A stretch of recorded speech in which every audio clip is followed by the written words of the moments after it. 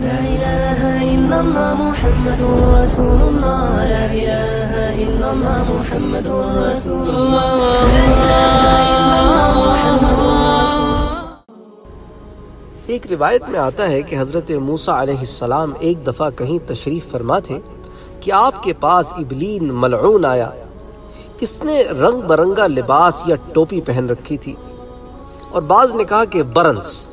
Burns کے معنی جو ہوتے ہیں، ایک لمبی ٹوپی ہوتی ہے جو عرب میں پہنی جاتی تھی۔ اور اس لباس کو بھی برنس کہتے ہیں، جس کا کچھ حصہ جو ہے، وہ ٹوپی کی جگہ کا کام کرتا ہے۔ بہرحال، جب ابلیس حضرت موسیٰ علیہ السلام کے قریب ہوا، تو اپنی ٹوپی اتار کر رکھ دی۔ اور آپ کے پاس آ کر کہنے لگا کہ، السلام علیکہ یا موسیٰ۔ حضرت موسیٰ نے اس سے پوچھا کہ، من انت؟ کون ہے تو؟ کس نے کہا، انا ابلیس، میں ابلیس ہوں۔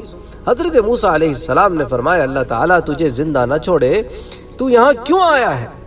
ابلیس نے کہا، اللہ تعالیٰ کے نزدیک آپ کی بڑی قدر و منزلت ہونے کی وجہ سے میں آپ کو سلام کرنے کے لیے آیا ہوں۔ حضرت موسیٰ علیہ السلام نے پوچھا، وہ کیا چیز تھی جو میں نے تجھ پر دیکھی تھی؟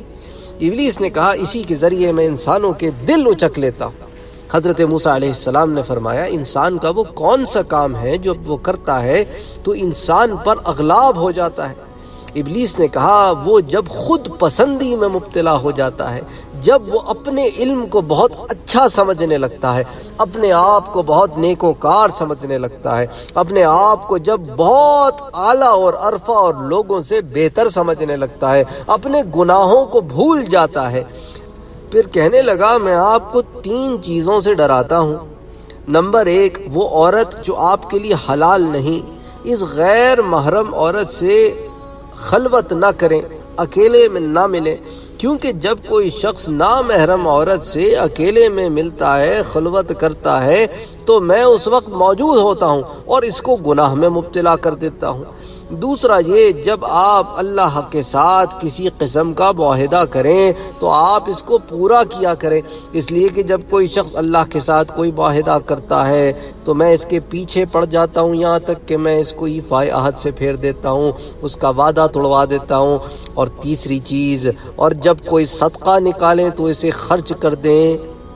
خرچ کر دیا کریں، اس لیے کہ جب کوئی شخص صدقہ نکالے اور خرچ نہ کرے یعنی مستحق کو نہ دے، تو میں اس کے پیچھے لگ جاتا ہوں۔ یہاں تک کہ میں اسے خرچ کرنے سے پھیر دیتا ہوں۔